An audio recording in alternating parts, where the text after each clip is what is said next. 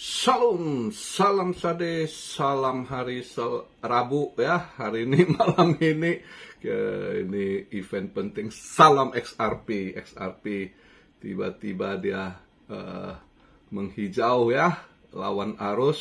uh, kita bahas nanti di situ uh, ya market masih agak drop ya pasti ini mereka nunggu ini malam ini gimana uh, FOMC ya, and then interest rate decision, ya kita lihatlah ntar malam, mungkin malam ini volatile, kalau lihat dari uh, event-event yang ada mungkin agak volatile juga ya. Dan tadi daily-nya nutup di 66,1 ya, semalam sempat drop sampai 65,2, terus dia mantul balik ke 66,1. Uh, kita bahas satu persatu nanti. Ini sekarang posisi saya buat video. Market cap di 2 triliun, 38 billion. Drop uh, setengah persen ya. Uh, volume juga drop. Kemarin banyak yang serok. Terus mungkin ya ada yang kena liquid ya kan atau yang TP ya tergantung sih masing-masing apa yang dia trade ya ini dia uh, volume drop 23,7 persen. Berada posisi di 62 billion, 8 ya 62,8 billion.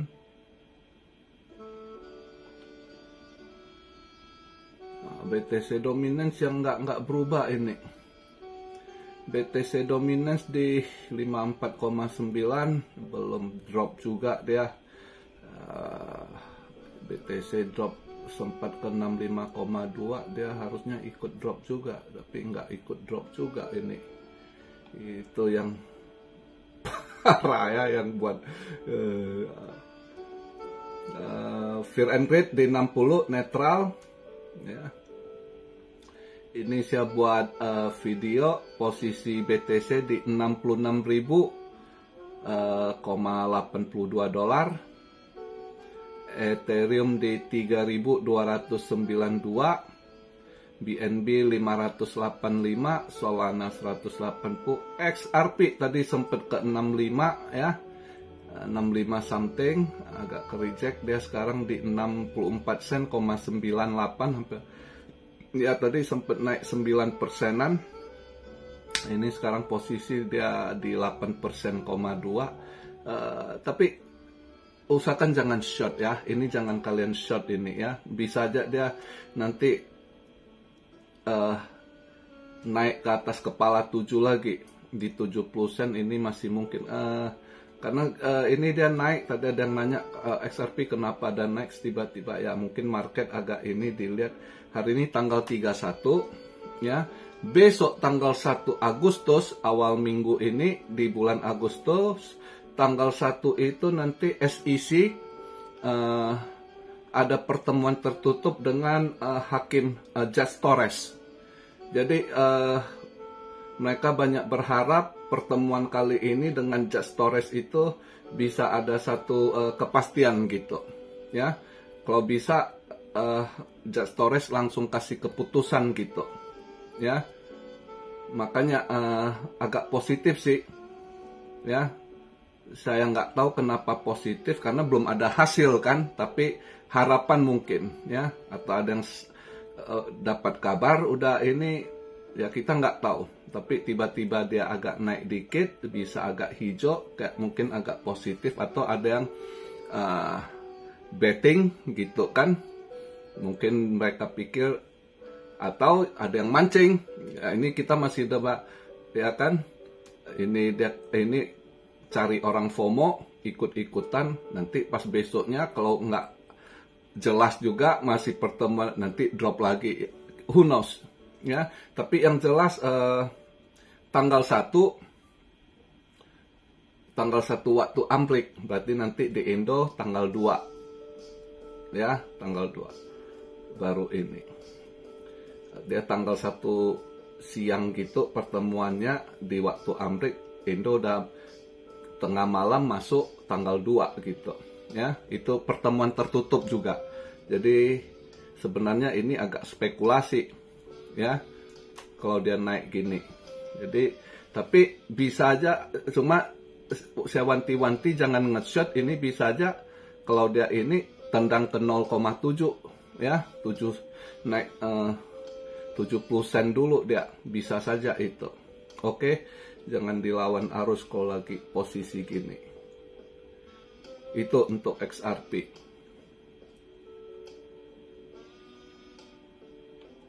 Nah, kalau kita lihat uh, untuk event hari ini, uh, semalam untung saya nggak masuk sau. Kalau saya masuk bisa kena tendang. Karena agak ragu semalam nggak yakin ya udah saya nggak ini. Tadi pagi saya baru masuk. Tadi pagi saya ada masuk sau uh, di 2410 ya. 2410 waktu itu pagi saya lihat uh, kalau lihat eventnya saya rasa volatile agak-agak ini tapi ya kalau lihat dari data ininya mungkin ya harap-harap nggak terlalu tinggi dia mantul ke atas baru ke bawah nanti ya, ya lihatlah seberapa ininya.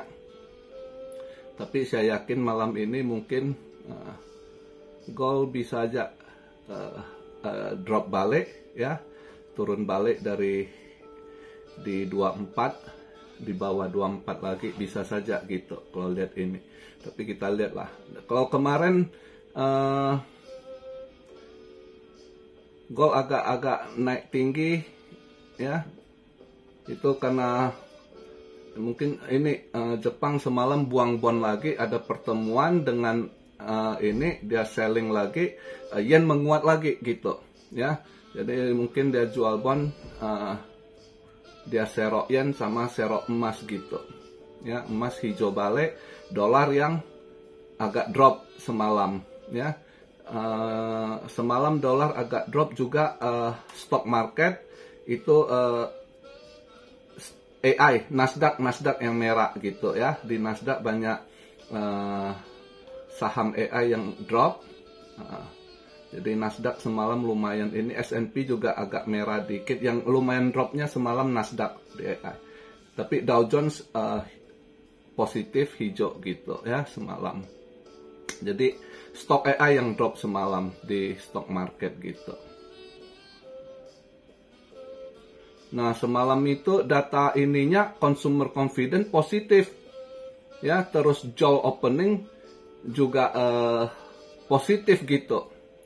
Ya itu sausnya dolar agak menguat tapi kenapa dolar jadi agak drop gitu? Karena uh, BOJ dam dam ini lagi bonnya jual bon lagi ya. Juga uh, eh, BOJ uh, eh, ada naikkan interest rate-nya. Dia udah lama dia hold minus kan. Terakhir kemarin dia 0% ini baru dinaikkan 10 basis point ya. Uh, menurut governor BOJ-nya kemungkinan dia naikkan uh, sampai mungkin di uh, 0,25 basis point. Jadi buat uh, karena ini cuan army ada, kadang ada yang nanya yen kan kalian kerja di Jepang mungkin ini ya syukurlah ini uh, mungkin yen masih bisa aja melem, uh, menguat ya. Ini sekarang posisi saya buat video yen udah di 152 semalam kan dia sempat ke 154 koma berapa tuh lumayan menguat cuma tiba-tiba dibanting balik gitu ya. Yen semalam volatile juga drop balik ke 152,3 semalam. Tapi sekarang dia 152,7 ya. 152,7 yen itu mungkin aja masih bisa uh, ke 151 ya atau 150 tapi saya rasa 151 sangat mungkin gitu ya di minggu-minggu ini. Jadi buat kalian yang uh, kerja di Jepang Holian ya syukurlah kalau sekarang agak menguat kalian kirim agak ini. Dan ya bisa aja ini ini sementara mungkin menguat beberapa bulan nanti kalau dia nggak ini bisa melemah lagi. Jadi buat kalian yang uh, kerja di Jepang ada tabung-tabung pegang banyak yen sebaiknya alihkan beli aja uh, aset gitu ya. Uh, cicil-cicil aja emas gitu logam mulia ya. Jadi uh, cicil aja beli cicil gitu kan atau uh, kalau dikit-dikit ya kalian buka tabungan dulu, tabungan emas gitu. Jadi kalau kalian tabungan emas kan uh, istilah ikut kos saat kalian beli nggak nggak kena gimana uh, spreadnya atau apa atau ongkos cetak kan kalau kalian uang kecil juga beli yang dikit-dikit kena cetak mahal gitu. Jadi mending di Indo di mana? Saya rasa penggadaian atau yang mana? Bisa nggak? Misal Anda nabung emas gitu kan, nanti kalau udah lumayan Anda mau ambil fisik, baru ah bisa ambil fisik gitu, baru kena ini ongkos cetak gitu kan. Jadi kalau masih uang kecil nabung-nabung ya di, di ini dulu gitu, di tabungan emas gitu. Itu masukan dari saya ya uh, buat yang ini. Uh, pengen nabung-nabung emas tapi nanti ujungnya fisik ambil fisik gitu ya. Uh, untuk hari ini uh, kemarin dia lumayan menguat juga dia punya ini GDP ya euro GDP agak ini.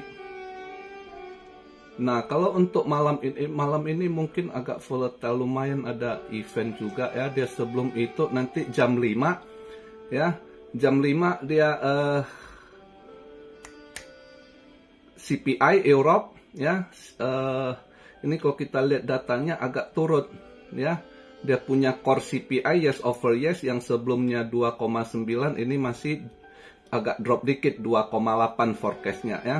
CPI indeksnya yes over yes juga uh, nggak turun sama kelihatan 2,5 forecast 2,5 juga. Jadi kalau core-nya agak turun ya. Sausnya kalau dia CPI turun ya itu agak efek ke ini gold bisa turun gitu. Nanti itu jam 5 mungkin market malam ini volatile loh dengan event-event yang ada. Terus nanti uh, di Amrik uh, waktu Amrik Eastern Time jam 8.15 dia ada ADP non farm employment juga ya. Itu agak drop dia ya. Nah terus 945 juga ada Chicago PMI. Wah drop sekali. Nah kalau lihat ini Chicago PMI-nya ya. Ini bisa aja dolar agak melemah. Nah kalau dia dolar melemah. Gold bisa aja hijau ya. Jadi makanya tapi kalau ADP non farm employment kalau dia drop itu juga agak bagus agak maka agak sulit malam ini mungkin bisa volatile dia ke mana arahnya.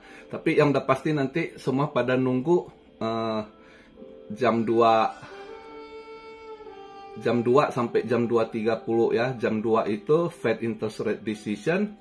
Kalau dilihat dari ininya nggak ada perubahan lima setengah persen masih tetap forecast lima setengah persen. Tapi setelah itu mereka akan tunggu FOMC press conference. Ya si si Jerome Powell speak ini ya apa yang dia ini nah itu juga yang akan jadi acuan yang ditunggu gitu baru nanti market akan berubah tuh ya itu jam-jam itu nanti market akan berubah lagi ke mana arahnya.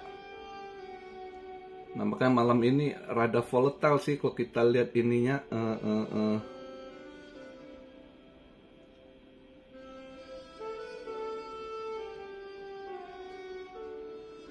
Kalau kita lihat dia punya uh, forecast ya malam ini ya lumayan ini uh, bisa aja market volatile naik turun gitu. Jadi ya hati-hatilah kalau yang trading biasanya kalau event-event gini sering sekali dia volatile gitu ya jadi kalau tiba-tiba nanti dia ada tiang panjang ke atas nah di situ bisa coba ambil short biasanya nanti ke bawah. Sering begitu. Atau dia ke bawah dalam anda boleh ambil long gitu ya.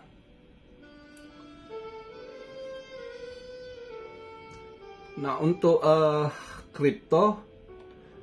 Kripto kalau mau scalping sebenarnya kalau hari ini mau scalping kripto dengan kondisi ini sebenarnya cuma dua. Kalau saya mau long ya XRP sama XLM XLM boleh coba di long XLM hari ini juga ada sedikit event ama dengan XRP menghijau. Itu dia positif bisa keep hijau ya. Ini saya buat video dia di 10 sen, 54 mungkin aja bisa dia ke 11 per 11 sen something ya.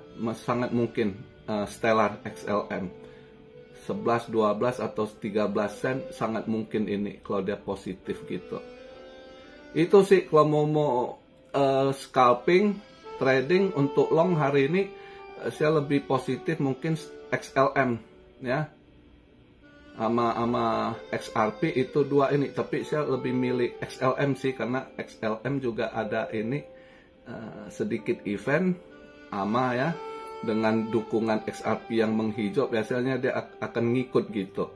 Sedangkan sekarang dia XLM kan belum gimana hijau ini saya buat video dia XLM baru stellar baru uh, dalam 24 jam 5 persenan lah dia naik kan 5 persenan mungkin belum ini masih bisa itu. Ya untuk uh, uh, ininya yaitu nah saya untuk hari ini itu aja pembahasannya. Kita tunggu event-event penting sedangkan XRP besok tanggal 1 baru. Jadi ini dia kayaknya udah mulai hijau udah mulai positif. Atau ada yang pancing kita nggak tahu ya.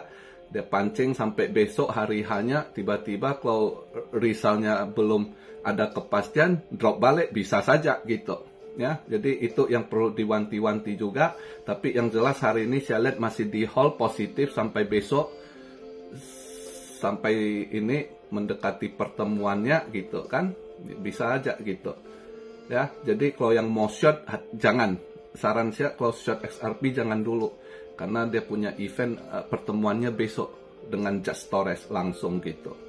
Ya tapi kalau secara ini mungkin dia positif. Karena kita lihat berita kemarin kan pada uh, beritanya uh, eh, XEC drop kasusnya kalah dengan uh, berbagai Solana, uh, uh, uh, Cardano dengan ini uh, uh, uh, uh, Matic, Polygon ya. Jadi positif sekali ke ini. Nah, dengan pertemuan ini mungkin maka mereka anggap lebih positif lagi XRP. Ya kita sih harap begitu sebagai XRP army ya. itu mudah-mudahan.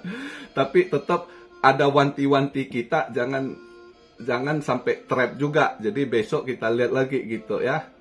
Uh, tapi kalau buat scalping uh, trade cepat ya boleh coba untuk long ya antara XRP, XLM. Saya pilih hari ini kalau mau uh, ini scalping long saya mungkin XLM gitu. Ya. Jadi itu aja pembahasan kita tunggu gimana malam ini event pentingnya ya. Uh, apakah dia hold atau ada naik atau apa yang akan disampaikan uh, uh, uh, uh, Jerome Powell ya Uh, buat yang percaya soft landing, go ahead, silakan. Masing-masing tentukan arah masing-masing, ya. Uh, saya tentukan jalan saya, Anda tentukan jalan Anda, duit duit Anda, begitu juga duit duit saya gitu, ya. Jadi cuan masing-masing, rugi juga masing-masing. Jadi gitu aja. Saya di channel ini cuma berbagi analisa. Buat yang cuan army sudah ikut lama, sudah paham apa yang saya sampaikan. Buat hater, santai aja. Saya nggak pernah tanggapi Anda karena nggak ada waktu.